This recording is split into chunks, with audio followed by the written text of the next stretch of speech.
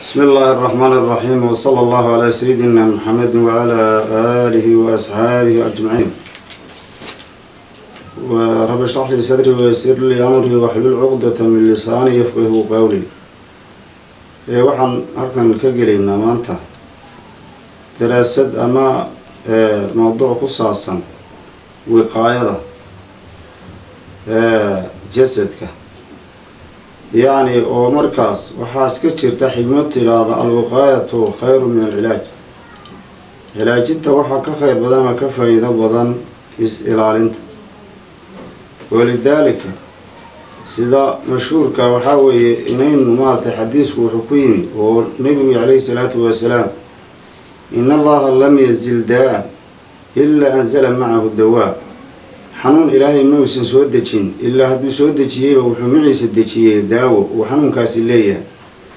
Marka man jahila jahila qofkii ka jaahiloobay waa ka jaahilooba man calima calima qofkii markaa bartayna ama ogaadayna waa bartay. Hidaayada ilaah baa bixiya. Cid buu markaa ku hanuuniyaa daawada fahamkeeda. Cidna markaa kumaba hanuuninayo waxay la mid tahay. Baadidu markay lunto waa la raadiyaa marka cidna ilaahay waa u dhab yareeyo waa ku beegaa meeshai jirto way helaan. Cidna markaa ma helaan oo rafaad badan iyo dhib badan. Ayaa muxuahay ka gaadho oo bacda rafaad bay helaan ama maba helaan.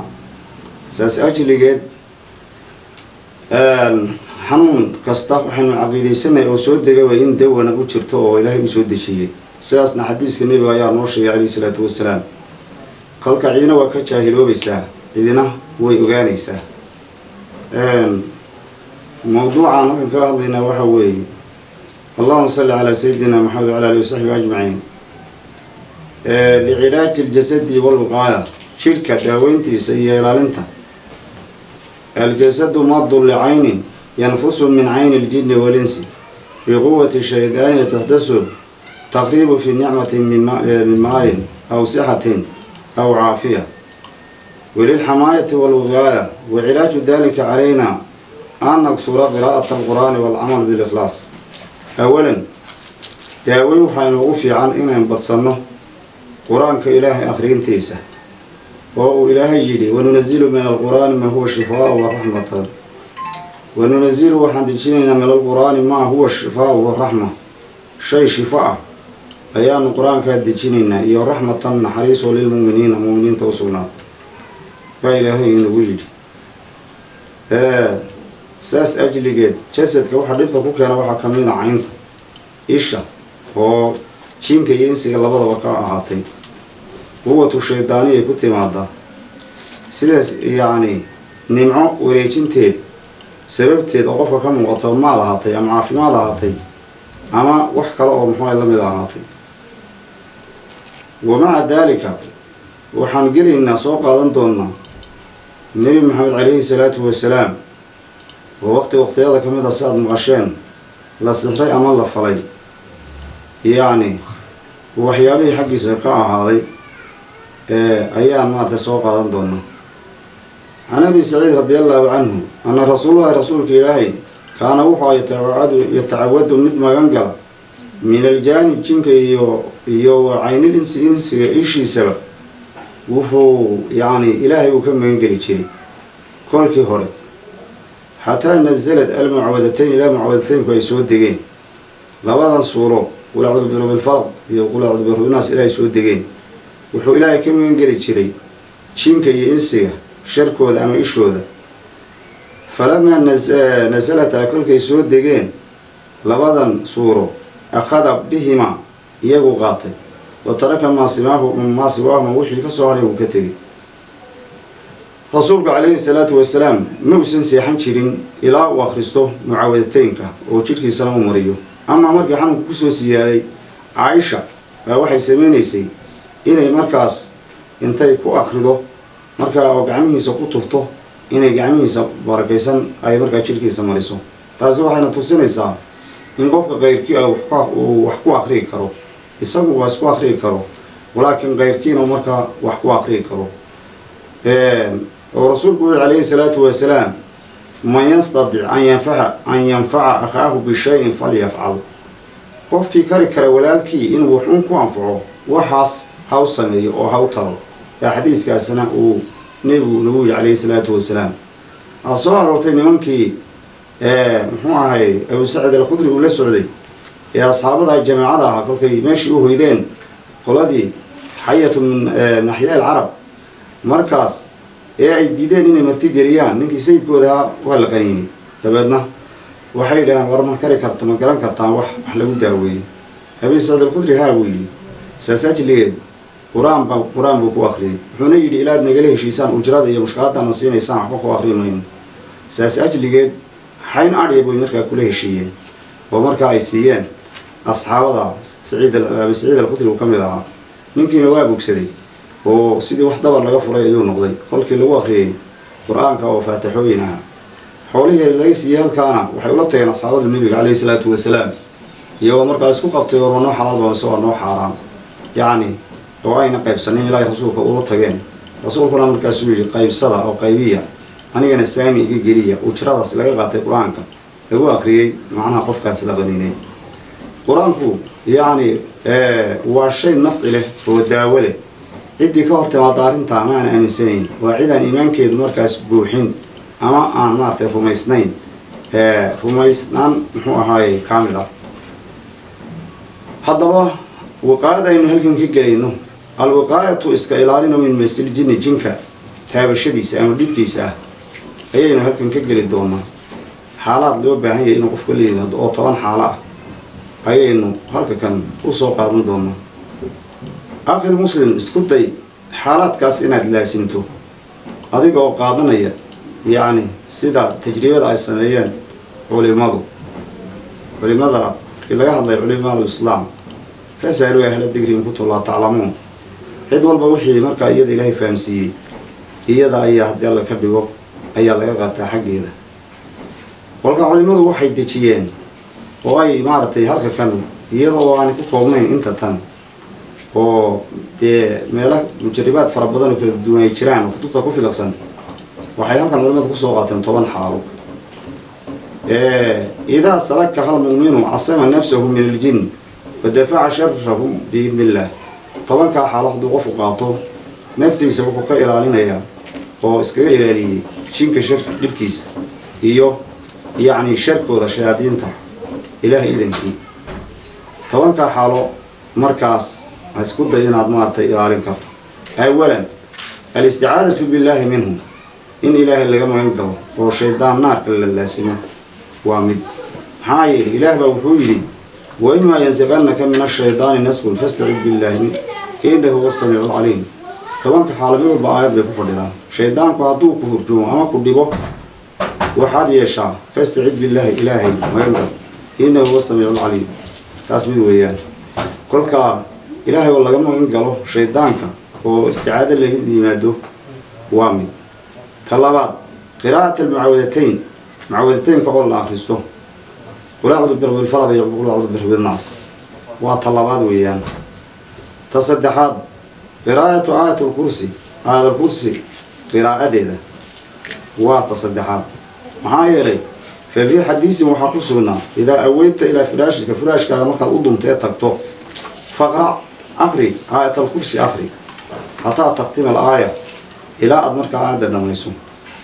Fa innaka adigu haddaad sidaas samayso qof yahood muuminka laa yasaalu calayka min allaahi xaafidun xagga ilaahay mid ku ilaaliyaa ka suuli maayo. Mid ku ilaaliya ayaa xagga ilaahay ka ahaanaya. Haahay ama malag ah ama cid ilaahay ugu wakiisho. Walaa yaqribka shaydaanun hataa tusbixa. Ilaa aada waa beriisatana markaa shaydaan kuu soo dhowaan maayo aayatan kursiga weeyaan. Mana hawl badna oo qofku way u dhib yartaa inuu akriyo xaaladda afraad qiraa'atu suurat lbaqar suurat lbaqara inuu akriyo qofku haddii uu yaqaano.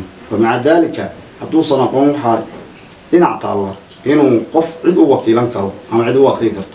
Maxaa yeele awalan waxaynu soo marray caaisha markii rasuulku uu kari kari waayo inuu akriyo inay iyadu ku akriyeysay kolka qofku sheega markaanu akriyi karin cidi waa u akriyi kartaa waana u wakiilan karaa yani insaanka waxa u bannaan wax kastoo naftiisa u bannaan inuu cid u wakiisho ayaa u bannaan. Kolka suuratulbaqar akhriinteeda ta afraad bay tahay. Xadiisna waxaa ku sugnaatay oo laa tajcaluu buyuutakum qubuuran guryihiina ha ka yeelanina ha ka yeelina qubuuro. Oo yacni meel aan waxba lagu akriyayn ha ka yeelina wa ina albeyt aladii tuqra'u fiihi suurat lbaqar beytka suuratulbaqara lagu akriyo gudihiisa guriga lagu akriyo laa yaqrabuhu shaydaanu shaydaan uma uu soo dhawaanayay ayaa xadiisna ku sugnaatay oo nebigu yidhi calayhi isalaatu wasalaam kalka taas afraadna waa suuratulbaqar in lala yimaado khaamista shanaad waa inuu suuratulbaqar oo waa wax dheer laba boqol iyo lix iyo sideed siddeetan aayadood weeye haddii dhan kale laga eegana waa laba jis iyo dheeraad. Markaa way qofka yani waxway ku cuslaan kartaa. Laakiin haddana qofka ilaahay u fudeediyey kuma cusla. Ta shanaad waxa weeye khaatimatu suuratulbaqar suuratulbaqar dhammaadkeeda labada aayadood ee ugu dambeeya aamana rasuul laga bilaabo inuu la yimaado. Waa xaalaadka yani qofka wiqaayada u ahay ilaalinta waxaynu ku jirnaa mana fara badna. Inuu intaa marka akriyo qofku seexanayo ta laba lixaad awalu suurat lkaafir suuratulkaafir awalkeeda inuu akriyo ilaa lagala gaadho. Ilayhi lmasiir lagala gaadho. Awalka intuu ka qaado. Xaamim mxuu ahaye suuradda suuratulkaafir xaamimada maxaa kamida ugu yaqaan qofka yaqaan inuu sidaas sameeyo. Awalan mar walba waxaa dhinac taalla walaale haddii uusan qofku akriyi karin inuu dee qofka markaas saaxiibkiisa ah walaalkiisa muuminka ah uu akriyo oo u igmado ayaa muxuu ahaye ayaa usax rasuulku wuxuu asxaabada muxuu ahay qaar kamida nin kamida ku yidhi akri qur'aanka dusheeda ku akri waxaan jecelay inuu khayrkii akriyo aan dhegeysto markaas arrinta toddobaad inuu akriyo qawlka laa ilaha illa allah waxdahu laa shariika lah lahu lmulku walahu alxamdu wahuwa calaa kulli shayin qadiir boqol jeer boqol jeera ma badna. Kelimad aada u qaaliho yacni salaadka dabadeedana adkaar ahaan waa soo aroortay. Markaas ma badna oo qofku dee boqol jeer wax aada u hawlyar weeye inuu kun jeer akriyo ama laba kun ama saddex kun baa u hawlyar dadka ehlullahiga qofba meel bay maaragtay cibaadadu sibay ugu sakiran tahay dad baa akriyi kara wax ka badan labaatan kun iyo soddon kun iyo wax la mid a marka qofkan dee cibaada waa loo samaystaye cibaadada ilaahay inay ku adkaato oo la islaatan maha wamaa khalaqtul ta kale waxa weeye kasratu dikrillahi dikriga ilahay inuu badiyo kasratu dikrullahi xuska ilahay inuu badiyo weeyaan waa xaaladda sideedaad ta sagaalaad alwudu wayso inuu la yimaado. Oo iyo muxuu ahaaye wasalaata wasalaatu khaasatan cinda alqadab iyo sali nebi inuu la yimaado. Weliba markuu cadhoodo yacni inuu yani maxaa yeelay hadi jeer cadhada oo kale shaydaanku waa xiliyada uu mashaadiintu ay qofka u soo huladaan ay dhex galaan. Waxaad arkaysaa qofka laleeyahy wuu xanuunsaday. Ama dadkan ay jira suucyada waxba ay ku jiraan oo la leeyahay cadhadu kaga kacay macnaha wuu cadhooday dabeetana waxbaa u dhex raacay dabeetana waka ama uu dhacay ama uu xiibo inay saameyn bu ku yeeshay. Taasna waxa weeye cadhada yani waa meelaha ay kaga faa'idaystaan waxyaaba shayaadiintu saas oo kaleeto inuu qofku wayse daa'imo salliga nebigana inuu daa'imo. Siiba cinda alqadar markuu cadhoodo markaas hadduu waxa soo aroortay salliga nebiga la yimaado qofku cadhadu way ka degtaa maxaa waa naxariis. Cadhaduna waa dab. Salliguna waa qabow markaas waa naxariis. Naxariistu iyadaa markaa shiddada qaboojisa wey. Xaaladda markaas tobnaadna waa imsaaku fuduuli nadri walkalaami wadacaam eegmada dheeraadka ah faraha badan leh ee uu meel walba eegaayo ee meelo badan baan xalaal ahayn kalaamka badan ee fuduuliga ee meel walba geri kara en danta ugu jirin cuntada badan ee haddii ala ka dho fuduuliga mukhaalidatu naasi dadka dhexgelkiisa faraha badan waxaasoo dhan inuu iska dhowro oo qofku is ilaaliyo oo iskantaroolo ayaa markaa u fiican. Fa ina shaydaana yatasalladu calaa ibni aadam min hadihi alabwaab. Shaydaanku meelaha ugu soo maro amuurahani insaanka ayay ayay muxuuaha ka mid yihiin. Sidaas ajligeed inuu waxyaabahaasna ka gaabsado oo iska ilaaliyo iska ururiyo ayaa markaas u fiican. Culimadu waxay leeyihiin min hada almawduuc tobankaa xaalo waa dardaaran qofka u wanaagsan xagga wiqaayadiisa iyo is-ilaalintiisa.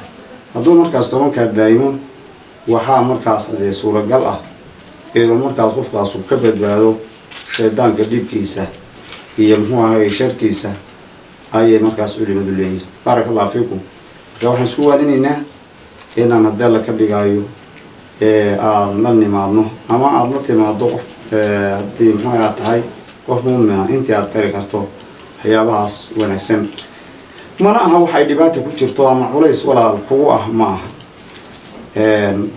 Mawduucaas intaa ayaan markaa haddii alla ka dhigayo ku soo gaabinayna walaakiin guud ahaan waxaa rasuulku ina yidhi calayhi salaatu wasalaam calaykum bishifaa-ayn laba shifo dushiina ha ahaato bimacnaa laba shifo daa'ima laba shay waa daawi ogaada ay ka dhigan tahay marka alqur-aan walcasal buu rasuulku alayhi salaatu wasalaam qur'aanka iyo malabka daa'ima ayaa xadiiskana rasuulku uu nagu yidhi oo muxuu ahaay labadaa shay daa'ima oo haddii alla ka dhiga isku daaweeya ayaa markaa rasuulku xadiiskaasna uu markaas inagu yidhi xadiiskaasoo markaa soo saaray ibnu maajax iyo keyrkiiba ay soo saareen rasuulkana uu ka wariyey ibnu mascuud mawduucan maanta halkaa ayaan haddii ka dhigo u joojinaynaa baaraka allah fiikum